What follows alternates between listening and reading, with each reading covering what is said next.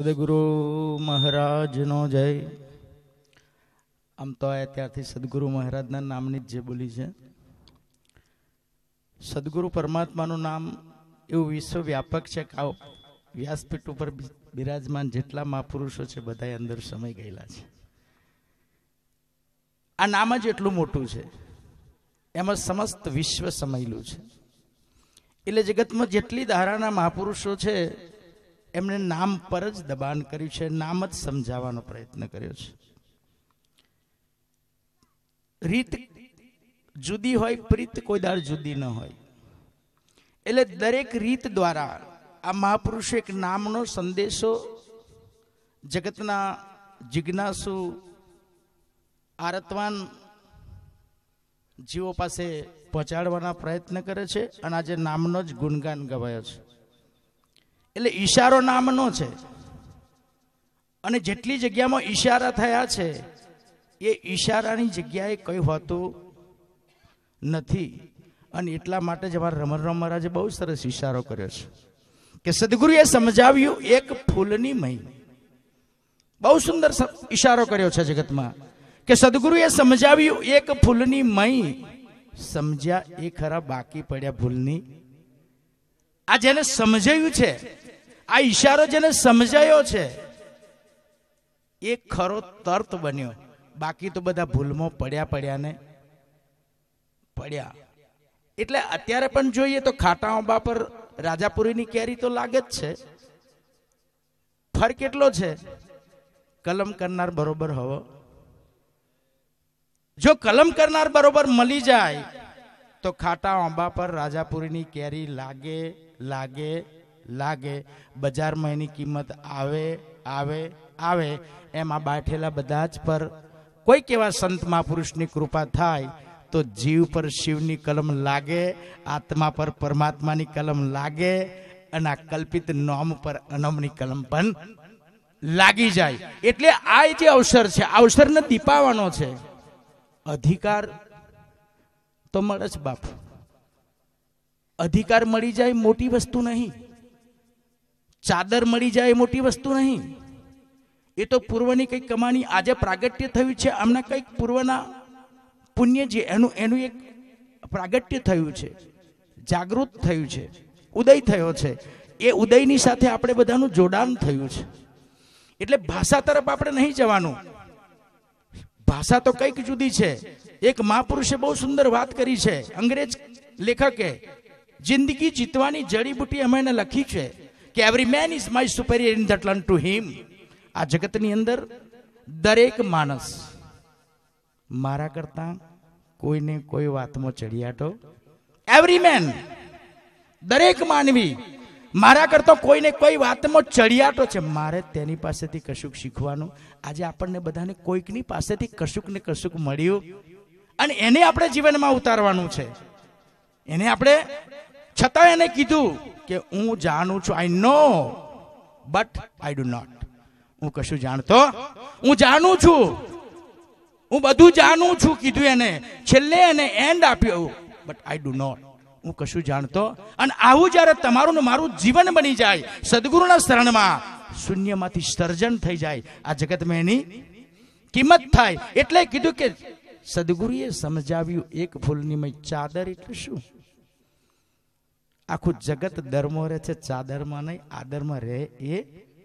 આ ચાદરનો મહિમા છે. જેને આ દરમાં રહેતા આવડે, એ ચાદર. અને એના માટે શું કરવું પડે? તો કે અધિકાર તો જઈ જોવે તઈ મળે છે. અધિકાર તો એક એક દીકરી પરણીને ઘરમાં આવી આ દીકરી હોશિયાર હતી. આ પરણીને ઘરમાં આવી ઘરમાં એની સાસુ એને પોકીને ઘરમાં લઈ જાય છે અને પેલી દીકરીએ સાસુનો સાલ્લો પકડી લીધો. અને સાલ્લો પકડ્યો એટલે સાસુને થયું કે કંઈક એને હું મનાઈ લો આપું છું. સોની નોટ કાઢીને આપી દીકરી કીધું, ના. પાંચસોની કાઢીને આપી દીકરી કીધું, ના. ગળામાંથી દોરો કાઢીને આપ્યો. દીકરીએ કીધું, ના. એટલે કીધું કે, બેટા બધું તારું આ મકાન તારું છે, આ બંગલો તારું છે, આ બધું તારું. છતાં એ માની નહીં. એટલે સાસુએ પૂછ્યું કે, બેટા, તારે શું જોઈએ છે? તા કે, બા, હું તમને કહું, આપશો? તાકે હા. તું કે, તું માગ. આજે તું જે માગે છે તને હું આ સદગુરુનું સ્વરૂપ. કારણ કે આ જગતમાં એક જ એવું પદ છે. કેવું પદ? ગુરુજી અમારા ભમર સમાના કીટ પકડ ઘેર લાવે. નામ રૂપ ગુણ આ બધું બદલી નાખે. કેવા? કે ગુરુજી અમારા ભમરસમાના કીટ પકડ ઘેર લાવે. કયો બદલો કર્યો? દેહ પલટ કર, સર્વન સુનાયા દેહ પલટ કર. સર્વન સુનાયા, પોતાના રૂપે બનાવી દે. એ મૂળ બનીને ઉડ જાવે ગુરુજી વિના કોણ પરમ જળ પાવે? આ સદગુરુનું સ્વરૂપ. આ જગતમાં પદો અનેક છે. પરમાત્મા કોઈને પરમાત્મા ના બનાવી શકે પીએસઆઈ કોઈને પીએસઆઈ ના બનાવી શકે, વડાપ્રધાન કોઈને વડાપ્રધાન ના બનાવી શકે. ગ્રામ સેવક કોઈને ગ્રામ સેવક ન બનાવી શકે, સરપંચ કોઈને સરપંચ ન બનાવી શકે.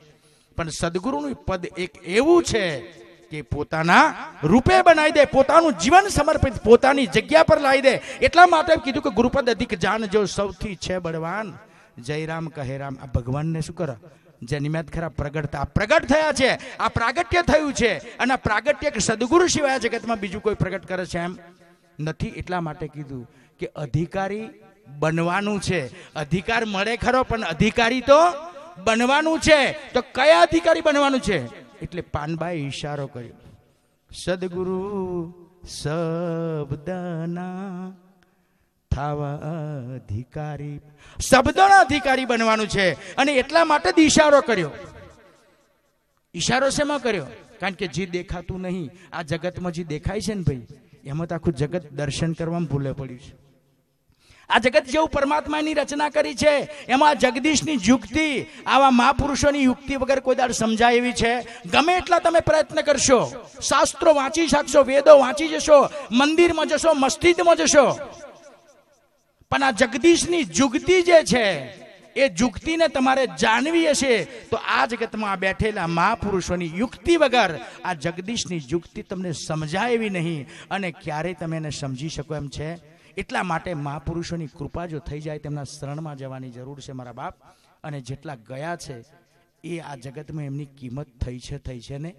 એટલે તો મારે કહેવું પડ્યું કે ખાટા આંબા પર પણ રાજાપુરીની કેરી, હે? હારા હોય એમને સુધારવા તો સહેલા છે. બગડેલો સુધારવાનું, હે? પણ બાપુ સાહેબ ગાયકવાડે ચોખ્ખું કીધું છે કે આ જગતમાં બગડતોય આવડતું બગડતોય આવડતું. કેમ એવું કીધું? બાપુ સાહેબ કાકડ વડોદરાના રાજા, કે બગડ્યામાં બગડ્યા લેજો જોનીઓ વીરા મારા બગડ્યામાં બગડ્યા લેજો. જોની કે કલાળાના સંગ થકી જુવાર જોને બગડી જુવાર મટીન બની, નામ રૂપને ગુણ મટી ગયા. વિચાર તો કરો તમે, આ મહાપુરુષોની કૃપા, આ મહાપુરુષોની રીત, આ મહાપુરુષોની પ્રીત. એટલે કીધું કે બગડ્યામાં બગડ્યા લેજો જોનીઓ વીરા મારા બગડ્યામાં બગડ્યા લેજો. જોની કે કલાળાના સંગ થકી જુવાર જોને બગડી જુવાર મટીન બની ઉગવા તને એનો આશરો ના રહ્યો આવન જાવન મટી જ્યું. વિચાર કરો કે ઉગવા તનો એને આશરો ના રહ્યો. ના રહ્યું રૂપને જસવંતભાઈ માંથી જશુ રામ બની ગયા ને એની કરની ઉત્તમ થશે. જશુ બાપુ બની જશે ને જશુ મહારાજ બની જશે. મહાપુરુષ બની જશે. આ મહાપુરુષોનો ઈશારો. એટલે આપણે જીવનમાં આ સંતો મહાપુરુષોના ઈશારાને જીવનમાં ઉતારવાનો છે મારા બાપ. સંતોના રહેણી પ્રમાણે રહીને સંતોના સાનિધ્યમાં જેટલી સમય પ્રાપ્ત થાય, સમય સમય બળવાન હે, નહીં મનુષ્ય બળવાન. સમય સદુપયોગ, એ તમારું સાચું સર્જન છે. સમયનો દુરુપયોગ, એ તમારું વિસર્જન છે. બસ આટલો જ મહિમા છે સમયનો. સમય સમય બળવાન છે. સમય તમારું સર્જન છે, સમય તમારું વિસર્જન છે, વચ્ચેનું જીવન છે. સમજી લેવાનું અને જેને સમજાઈ ગયું છે, એનું જીવન આજે પણ અકબંધ છે, એ બધાય જીવતા છે, સદગુરુ મહારાજની, આટલું કંઈ મારી વાણીને વિરામ આપું છું. જેમનું સાનિધ્ય આપણને પ્રાપ્ત થયું છે, એવા પરમ વંદનીય મારા રામ મહારાજને ખૂબ ખૂબ ધન્યવાદ. કારણ કે એકી સાથે, એક મંચ પર, એક જ ભજનના માંડવામાં આટલા બધા પરમાત્માઓના દર્શન કરવાનો અવસર જે અમને પ્રાપ્ત થયો છે, એ બદલ આ બેઠેલા જસુરામ મહારાજ, મહેશરામ મહારાજ, એમના પુણ્યના ઉદયની સાથે અમારું પણ જોડાણ થયું. અમે સદભાગી હતા નહીં, પણ બનાયા આ પરિવારજનોએ એટલે કોટી કોટી વંદન સાથે અમને બે હાથ જોડીને વિનંતી કરું છું કે અહીંથી હવે એક ગંગાની ધારા વહેશે જેટલા નાશે એટલા ન્યાલ થશે, પીશે પાવન થશે અને ડૂબકી મારશે ભવસાગર તરી છે. બોલે સદગુરુ મહારાજનો જય. ખૂબ ખૂબ ધન્યવાદ પાઠવીએ દિલીપરામ મહારાજ શ્રીને